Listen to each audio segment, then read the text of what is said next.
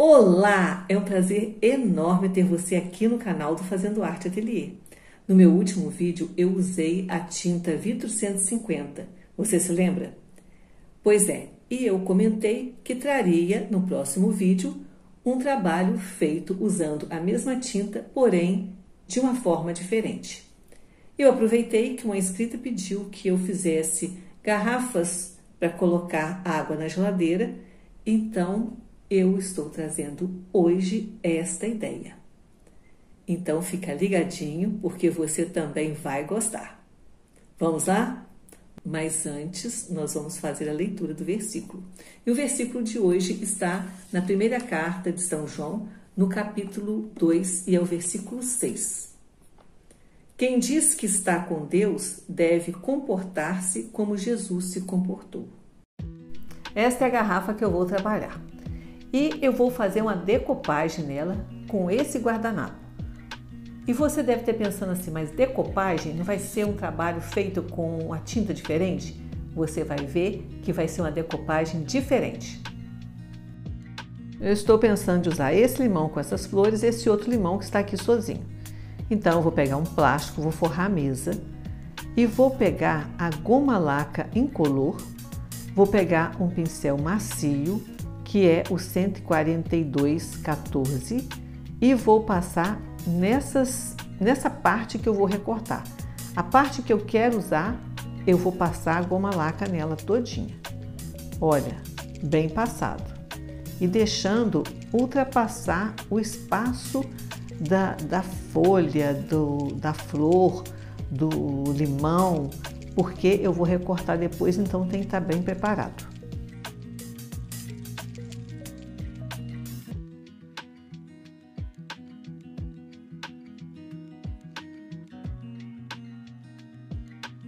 Eu aguardo a secagem para depois eu vir recortando. Isso seca bem rápido, porque a goma laca é a base de álcool, então ele evapora bem rápido. Eu vou agora recortar a parte que eu vou querer decopar. Quando você for recortar, se tiver alguma parte, algum cantinho difícil para recortar, você vai, passa direto, depois você volta recortando e quando você for colar, você já cola ele no mesmo lugar que ele deveria estar. Que aí você não tem dificuldade para recortar esses cantinhos. Olha só, esse cantinho aqui, olha. Eu vou até no cantinho do cabo da, do limão, recorto e depois, quando eu for colar, essa folha aqui já vai encostar bem próximo lá do, do limão. O vidro já está limpo, os desenhos recortados e eu vou usar a multicolagem gel para fazer a decopagem. E eu vou usar o pincel 142 14. Vou virar o desenho que eu recortei pelo avesso e vou passar a multicolagem na parte de trás do desenho.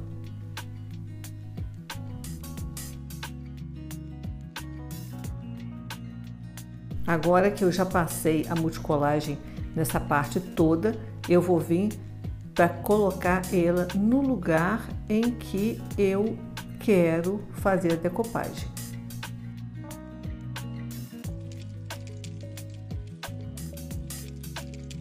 Coloco o guardanapo em cima do vidro, vou ajeitando, porque como eu recortei entre a folha e o limão, eu tenho que ajeitar para ficar no lugar certinho.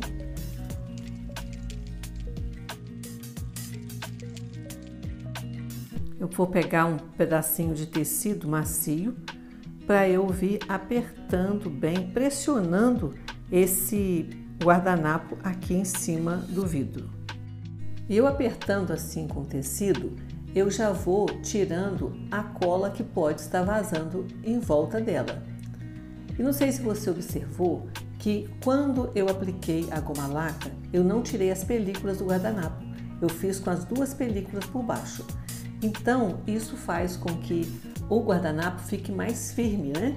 E não vai ficar rasgando tão fácil.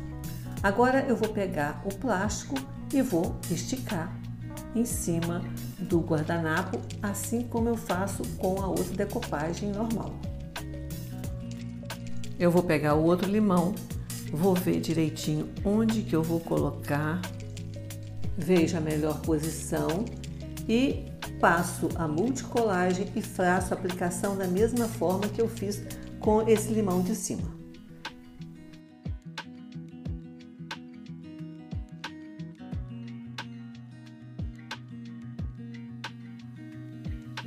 Na hora que você for aplicar, que tiver essas partes mais finas, tipo cabinho assim, você pode pegar um pincel para te ajudar a conduzir essas, esse cabinho para ele não rebentar. Mas se ele rebentar também, não tem problema que depois a gente faz a ligação com a tinta, tá?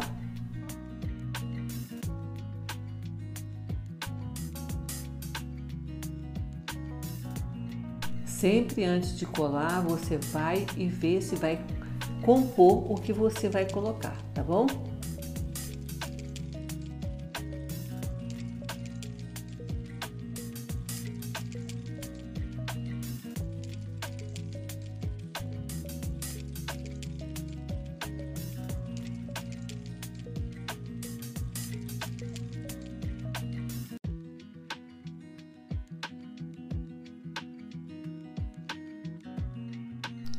A montagem está pronta. Agora vamos aguardar a secagem para vir fazendo os detalhes.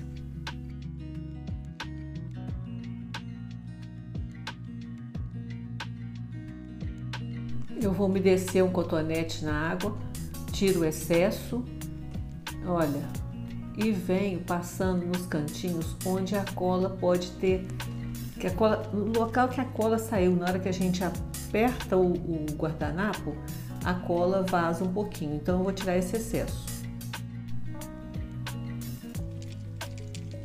Olha aí como já está ficando bonito, olha. Agora eu vou guardar ele secar e enquanto ele seca, eu vou pegar esse stencil aqui, que é o STM 527 da Litoarte. E aqui embaixo está escrito Lemon eu vou pintar ele aqui. Vou bater esse stencil aqui embaixo para compor esse vidro. Vou prender com a fita crepe, principalmente para isolar as partes que eu não quero pintar. E vou dar início à pintura. Ao colocar a fita crepe, tem que evitar de colocar em cima de onde foi decopado, tá? Para não arrancar a decopagem. Com a tinta vidro 150 a cor preta, eu vou fazer a pintura aqui desse stencil. E eu vou fazer essa pintura com um pedacinho de espuma. Olha, eu vou me aqui na tinta. Olha só, gente. Eu umedeço na tinta e tiro o excesso. Olha, descarrego bem essa espuma, porque senão a, a, a pintura vai borrar na hora que eu passar em cima do stencil. Então tem que ser com bem pouquinho, bem pouquinha tinta. Claro que cobrindo tudo, mas não vamos exagerar não, senão pode vazar.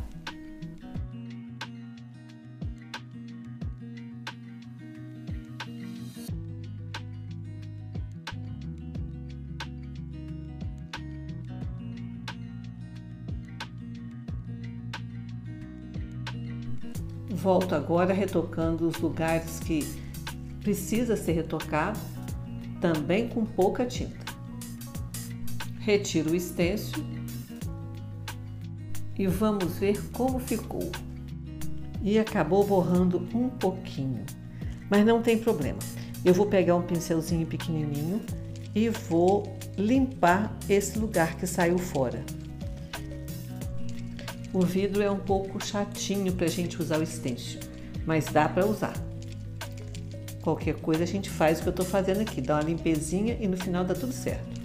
Eu vou pintar também a tampinha da garrafa, só o centro dela, com essa tinta, com a Vitro 150. Olha só, eu não consegui tirar todas as marquinhas de cola. Então, eu vou criar uns galhos aqui para disfarçar esse, essa cola. Mas eu não tenho a Vitro no, na cor verde. Como a Chalk dispensa o primer, eu vou usar a Chalk Floresta aqui para puxar os galhos. Eu já deixei aqui também a Chalk branca e açafrão para eu criar uns botõezinhos, criar umas flores. Com açafrão eu vou fazer o miolo da flor para completar aqui esse, essa, esse arranjo, né? Para ficar uma coisa mais harmoniosa.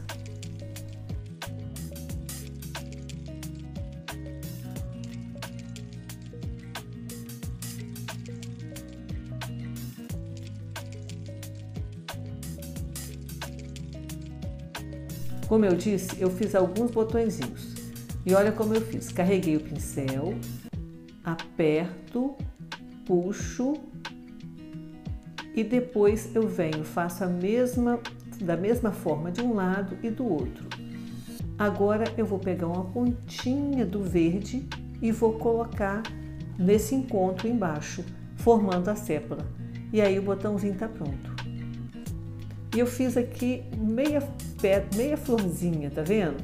Essa florzinha eu só puxei as três pétalas assim, pus um miolinho no meio, só para compor. Agora ele vai secar para eu poder impermeabilizar.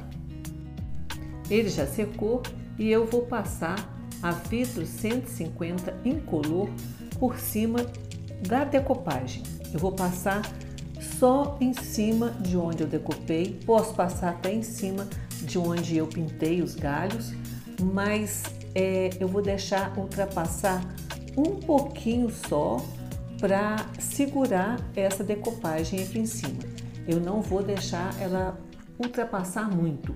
Vai ser só aquela beiradinha, igual quando a gente faz uma decopagem em tecido, que a gente deixa ele passar um pouquinho para segurar na trama do tecido, assim nós vamos fazer aqui e é só ir passando, esticando. E eu estou usando um pincel bem macio, que é o 181,6. Então é só passando e esticar, passar em todo lugar que foi decopado. Mas é bom você ir virando e observando bem, olhando contra a luz, para não ficar lugar nenhum sem passar.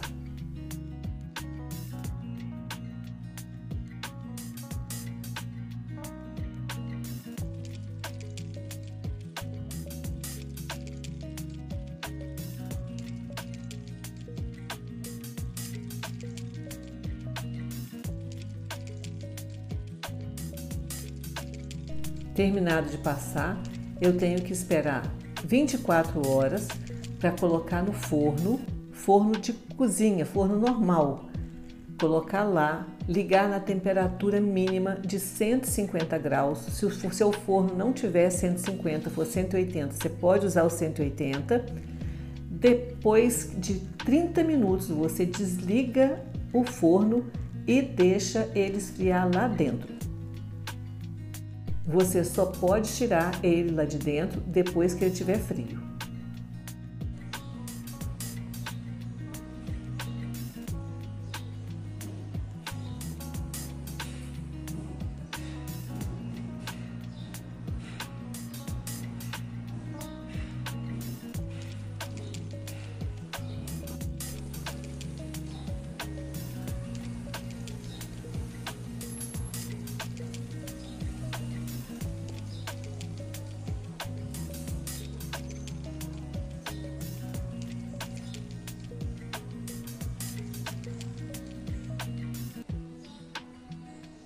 E aí, minha gente, gostou do vídeo de hoje? Viu como a gente pode fazer muita coisa bonita com, usando essa tinta? Bom, se você gostou do trabalho de hoje, dê o seu like, compartilhe esse vídeo e você que está chegando hoje pela primeira vez no nosso canal, se inscreva no nosso canal que você vai gostar. Mas lembre-se de ativar o sininho para você sempre ser lembrado que está chegando um trabalho novo aqui no canal. Bom, eu aguardo você no nosso próximo vídeo. Um grande abraço e até a próxima semana, se Deus quiser.